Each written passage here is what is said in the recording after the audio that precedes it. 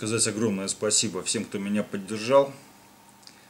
Я вижу, что всколыхнулась вся страна.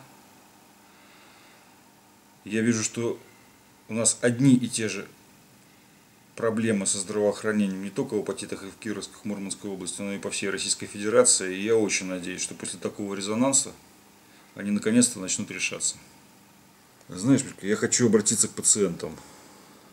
Берегите оставшихся врачей. Когда же наконец до вас дойдет, что лечат не зданием больниц или поликлиник, а эти же врачи, которые сейчас работают на износ, которых осталось и так мало. И давайте уже прекращать эту войну, навязываемую нам федеральными каналами. Нужно пересмотреть действующие акты и нормативные документы, а также некоторые из законов.